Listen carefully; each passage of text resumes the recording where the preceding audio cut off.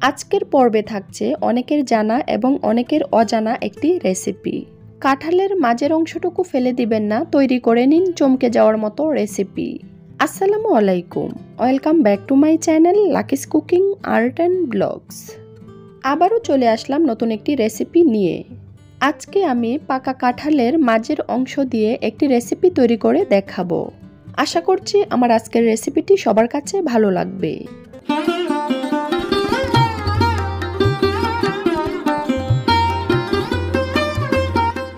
তাহলে চলুন চলে যাই রেসিপির মূল পর্বে।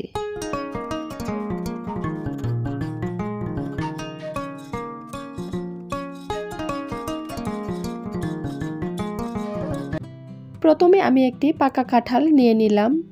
এবার কাঁঠালটা কেটে মাঝের অংশটুকু বের করে নিব।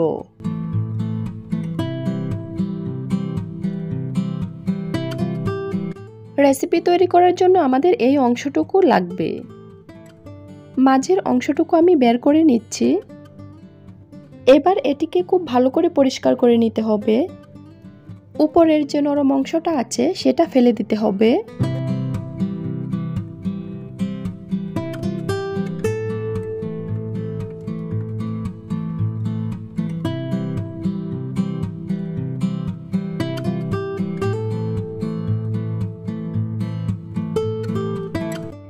এবার এটাকে কেটে নিচ্ছি। ছোটো ছোটো টুকরা করে কেটে নিচ্ছি। কেটে এটাকে পানিতে রাখতে হবে না হলে কালো হয়ে যাবে। এভাবে করে আমি সম্পূর্ণ কেটে নিচ্ছি।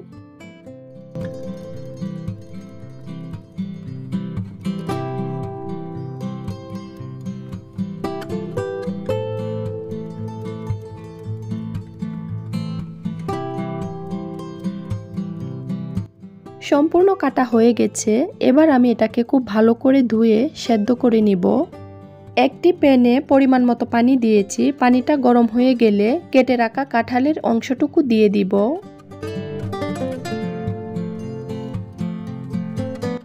দিচ্ছি হাফ চামচ পরিমাণ হলুদের গুঁড়া এবং পরিমাণ মতো লবণ।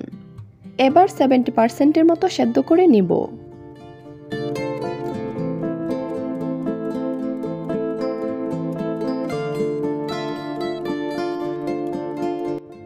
কাঁঠালের মাঝের এই অংশটুকু এমনিতেই নরম থাকে, খুব বেশি সময় লাগে না সেদ্ধ হতে।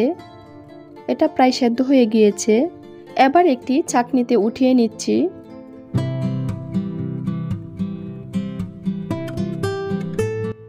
ঠান্ডা পানি দিয়ে খুব ভালো করে ধুয়ে নিব।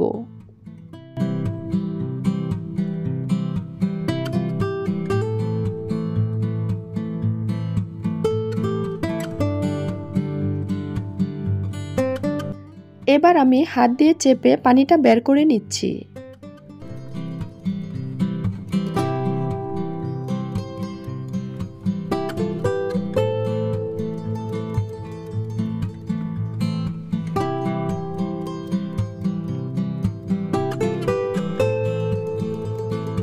অনেকটা পানি বের হয়েছে, এই পানিটা ফেলে দিতে হবে।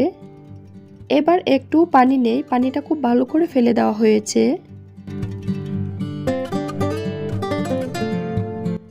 এখন আমি কাঁঠালের সেদ্ধ করে রাখা টুকরাগুলো শিলপাটার সাহায্যে থেতলে নিচ্ছি।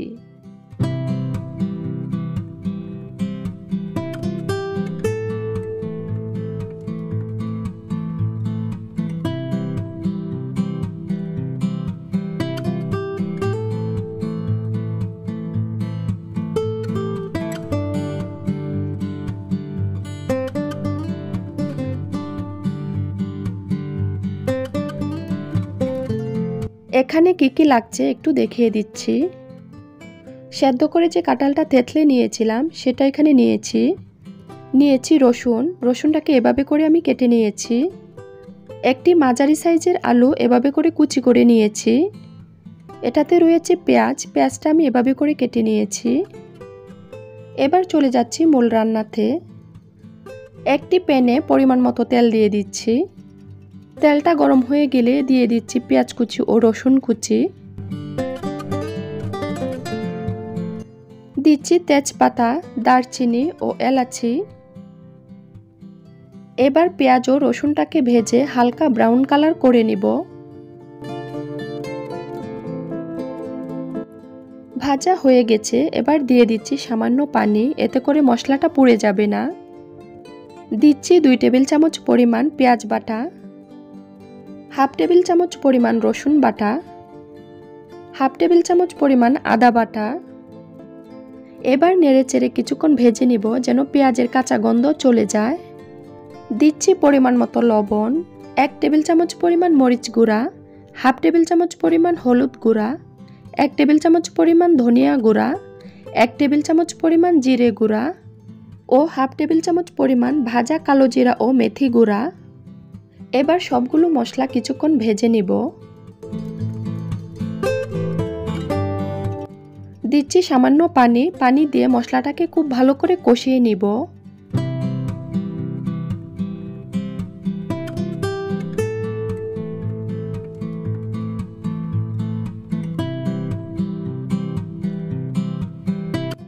মশলাটা খুব ভালো করে কষানো হয়ে গেছে। এবার দিয়ে দিচ্ছি আলু কুচি।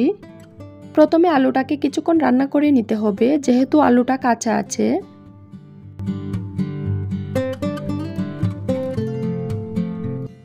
ঢেকে দুই মিনিটের মতো রান্না করে নিচ্ছি।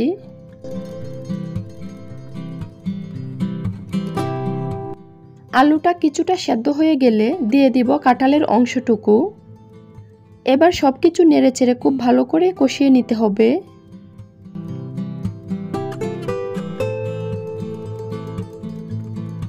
আবারও সব কিছু কষিয়ে নিব দুই মিনিটের মতো। কষানো হয়ে গেছে, এবার নেড়ে চেড়ে দিয়ে দিব সামান্য পরিমাণ পানি।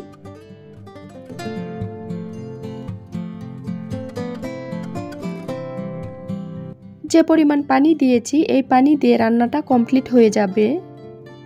এবার আর ঢেকে রান্না করার প্রয়োজন নেই। এভাবে কিছুক্ষণ রান্না করে পানিটা শুকিয়ে নিতে হবে এবং ভাজা ভাজা করে নামিয়ে নিতে হবে।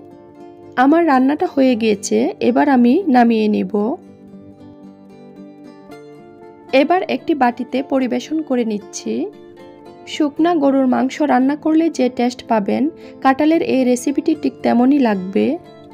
দেখতেই পাচ্ছেন, আমি কিন্তু এই রেসিপিটি, শুকনা গরুর মাংস যে রেসিপিতে রান্না করা হয়, ঠিক সেম রেসিপিতেই রান্না করেছি। আশা করছি আমার আজকের রেসিপিটি সবার কাছে ভালো লেগেছে। আমার রেসিপিটি যদি ভালো লেগে থাকে, তাহলে আমার চ্যানেলটিকে সাবস্ক্রাইব করে রাখতে পারেন এবং পাশে থাকা বেলাইকনটি ক্লিক করে দিবেন নতুন ভিডিও পাওয়ার জন্য। সবাই খুব ভালো থাকবেন। আল্লাহ হাফেজ।